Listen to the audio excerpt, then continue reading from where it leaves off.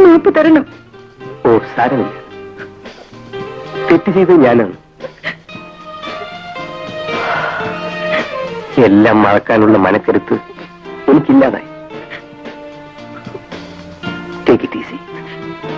നമുക്ക് പുതിയൊരു ജീവൻ തുടങ്ങാം.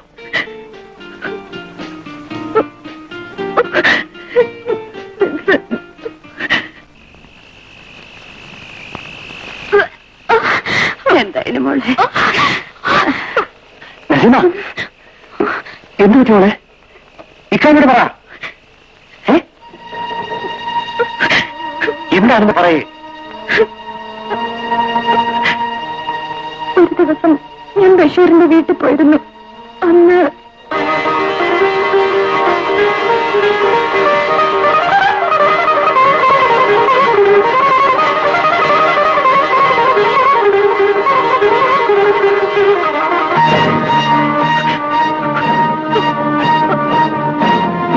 നിക്കാഹ് കാര്യത്തിൽ നമുക്ക് യാതൊരു വിരോധവും ഇല്ല. പക്ഷേൽ നമ്മൾ പറഞ്ഞ പണം വേണം.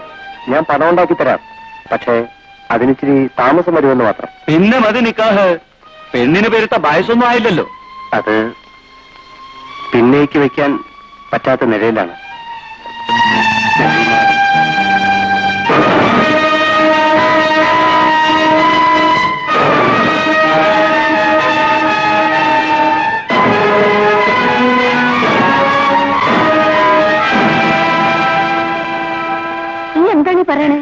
പറയണേ എന്ന് വെച്ച് നമ്മൾ അവളെ കൊല്ലണ.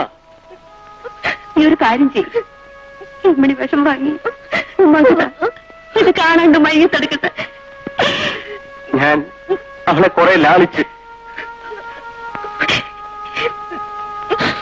ഉമ്മാക്ക് ഒരു വലിയ തോന്നലുണ്ട്. ഉമ്മക്ക് കുഞ്ഞ് വേണ്ട. ഇക്ക.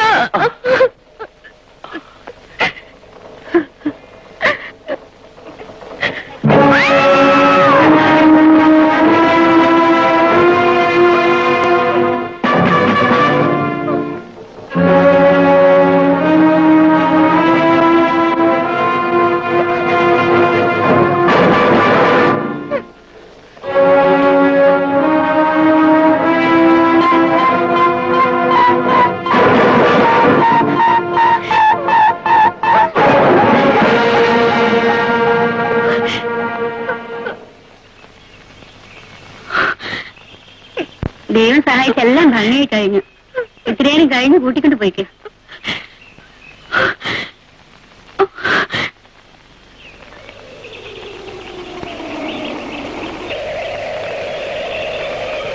എടോ കാക്ക.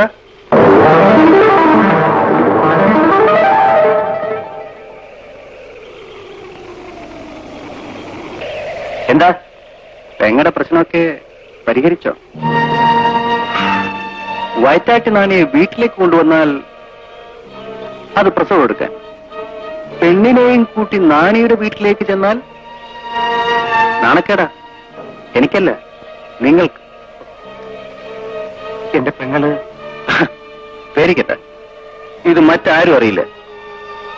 പക്ഷേ ഇതിന് അല്പസ്വല്പം ചെലവുകളൊക്കെ ഉണ്ട്. മനസ്സിലായില്ലായിരിക്കും. ഈ സംഭവം മറ്റാരും അറിയാതിരിക്കണമെങ്കിൽ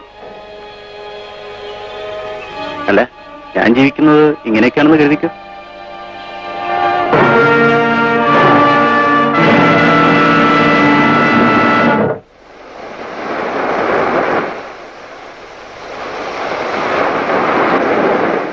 ഞാൻ പാവപ്പെട്ടവനായിരുന്നിട്ടും അവന്റെ ഭീഷണിക്ക് വഴങ്ങി പണം കൊടുത്തുകൊണ്ടേയിരുന്നു. എന്റെ എല്ലാമായിരുന്ന പെങ്ങളുടെ ഭാവി നശിക്കരുന്ന് മാത്രമേ ഞാൻ ആഗ്രഹിച്ചിരുന്നുള്ളൂ. എന്നിട്ടും ഒരു ദിവസം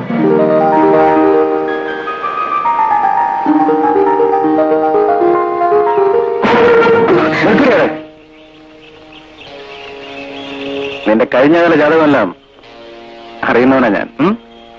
അല്ല ഞാനിത് ആരോടും പറയില്ല. കാരണം എന്താണെന്നറിയാമോ?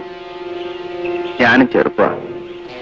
എന്നെ കൂടി ഒന്ന് പരിഗണിച്ചാൽ മതി. പറയരുത്. ആ നീ പേടിക്കണ്ട. ഒരിക്കൽ കൂടി ആ നാണിയുടെ വീട്ടിൽ പോകേണ്ട ആവശ്യം ഞാൻ ഉണ്ടാക്കില്ല. എന്താ പോരെ?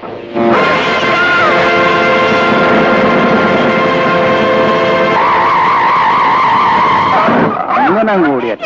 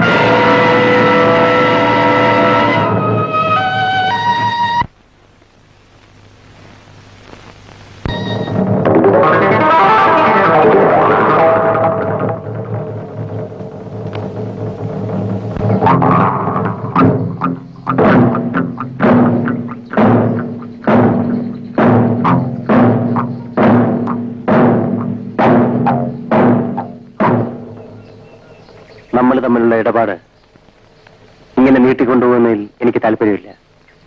ഇനി അതങ്ങ് മൊത്തമായി തീർക്കാം. കുറെ വൈകിട്ടാണെങ്കിലും ബുദ്ധി ഒന്ന് നന്നായി. ആട്ടെ ഞാൻ വേണം. ഇവിടെ വെച്ച് അതിനുള്ള സൗകര്യമില്ല. അതിനെന്ത്? വരൂ വരൂ.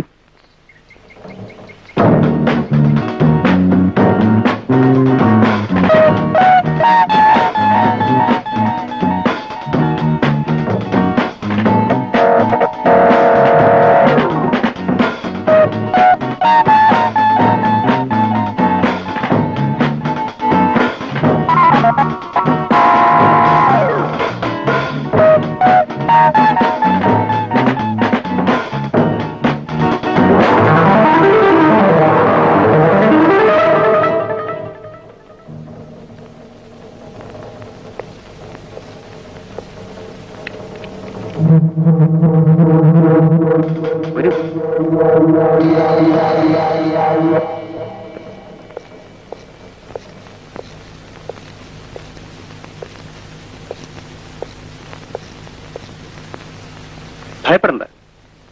വൈകിട്ട് അഞ്ചു മണിവരെ ഈ വീട് എന്റെ കസ്റ്റഡിയിൽ. അത് കഴിഞ്ഞ ഒഴിഞ്ഞു കൊടുക്കണം. കാരണം ഇതിന്റെ ഉടമസ്ഥൻ വേറെയാ. ഉദ്യോഗമുള്ള ഭാര്യയും ഭർത്താവും ഓഫീസിൽ പോയി കഴിഞ്ഞ് കുട്ടികൾ സ്കൂളിലും പോയാൽ പിന്നെ ഈ വീട് കാലിയാ. അപ്പൊ ഞാൻ ഇവിടെ വരും. തോന്നിയാലൊന്ന് കുളിക്കും ഉച്ചയ്ക്ക് എന്തെങ്കിലും ഉണ്ടെങ്കിൽ എടുത്ത് കഴിക്കും. പിന്നെ ഇതിനൊന്നും നേരെ വരാൻ പറ്റില്ല കേട്ടോ. അതുകൊണ്ട് അടുക്കള വാതിൽ തുറന്നു വരുന്നത്. വിശ്വസിക്കാനാവുന്നില്ല അല്ലേ? ഇനി മറ്റു ചില വീടുകളുണ്ട്. അത് ഞാൻ തുറക്കണ്ട. അടുക്കള വാതിൽ എനിക്ക് വേണ്ടി തുറന്നിട്ടിരിക്കും. എന്താ? സംഗതി പിടിയിട്ടില്ലേ ഭർത്താവിന് മാത്രമേ ജോലി കാണൂ. കുട്ടികൾ സ്കൂളിലും. അല്ല അത് മറ്റൊരു ബിസിനസ്